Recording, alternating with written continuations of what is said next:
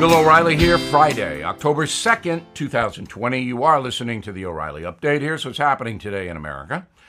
Donald Trump and Joe Biden getting heated in Cleveland, as you know, during the first debate.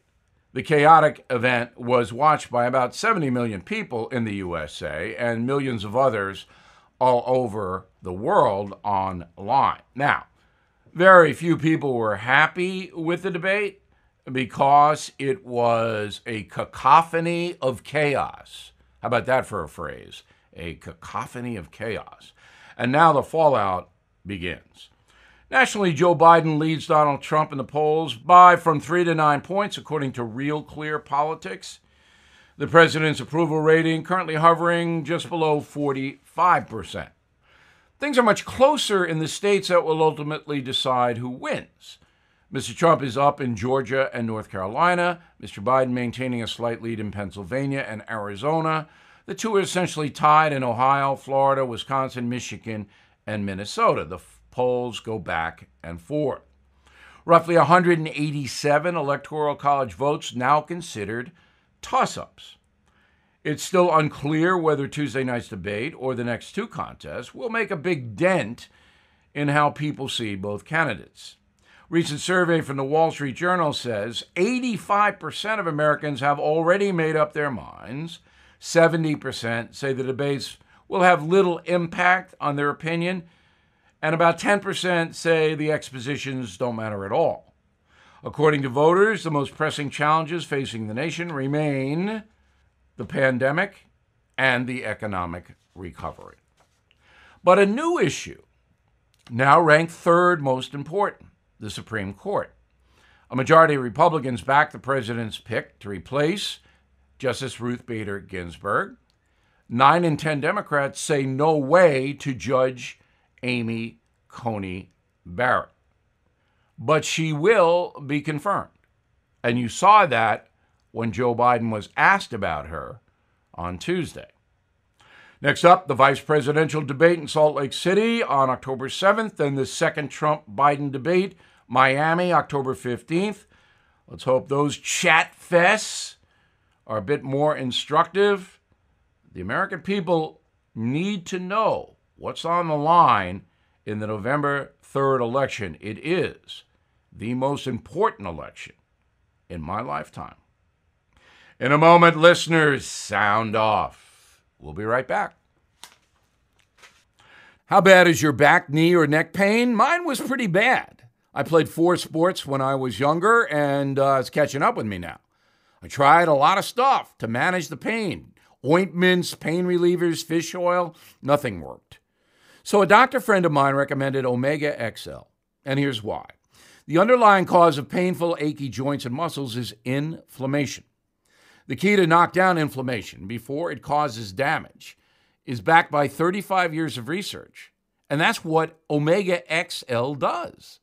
The doctor also says, quote, I can't write any prescription that comes close to what Omega XL accomplishes. She was right. So if you're suffering with painful, achy joints and muscles, stop wasting money and switch to Omega XL. Order Omega XL now and get a second bottle free. Visit omegaxl.com slash bill, omegaxl.com slash bill, or you can call 800-844-4888, 800-844-4888. Time now for the O'Reilly Update message of the day. Listeners, sound off. We do this every Friday. You can send me an email, bill at billo'reilly.com, bill at billo'reilly.com. We'd like to hear from you. So let's uh, take a letter from Joseph, who is in Charleston, West Virginia. Bill, do you still believe that this was the most important debate for the election? Do you still think most Americans have made up their minds? Uh, yes, as we just gave you the stats, Joseph. Um, but there are about 12, 15% of people who could change their minds, and that will decide. So the second debate, Donald Trump, now the pressure's on him. The first debate, the pressure was on Joe Biden to see if he was cogent. He was. Now the second debate, the pressure will be on the president to see if he can behave and get a clearer message across. John, Springfield, Missouri. Over the weekend, I heard that the Supreme Court nominee, Amy Coney Barrett, will endure even worse attacks than Justice Kavanaugh did. Do you agree, Bill? No. I think if you watch Joe Biden's demeanor when he was asked about Judge Barrett in the first debate, he got off that subject real fast. I don't think the Democratic Party is going to attack her. She's a very accomplished and well respected woman. It's not like they can come up with somebody who will accuse her of bad behavior, as they did with Justice Kavanaugh, without, of course, any backup at all. So the Democratic Party has to be very careful here. You'll hear the same thing over and over again. Judge Barrett will deny people health care and Judge Barrett will deny women reproductive rights over and over and over. And of course, the judge is going to have her answers to that. So I don't expect her to be annihilated like Brett Kavanaugh was. Jacqueline, Mission Viejo, California. Why can't the writers of the New York Times article on President Trump's personal taxes be arrested for receiving stolen property because they didn't receive it, Jacqueline. The way this game works is that someone who had a copy of the president's tax return, and I think I know who it is, let the New York Times reporters, three of them, see it, maybe photograph it surreptitiously. So the person probably left the room so that the reporters don't have anything physical because it is a felony to leak a person's tax returns. Jim Kutch, Aptos, California. I have just finished reading Killing Crazy Horse. Loved it. If your books had been available when I was in school, I would have been a much better history student. Well, I appreciate that, Jim. Killing Crazy Horse is an enormous success. If you want to know about your country and how we got from Boston to Los Angeles, please read Killing Crazy Horse. I'm Bill O'Reilly. I proved that message by putting it together. Please go to BillO'Reilly.com for honest coverage. In a moment, something you might not know. If you have been using your credit card lately to make ends meet, all of that debt can add up, especially with interest rates as high as 19%. Your best bet consolidate the debt into one low interest credit card consolidation loan from my friends at Lightstream.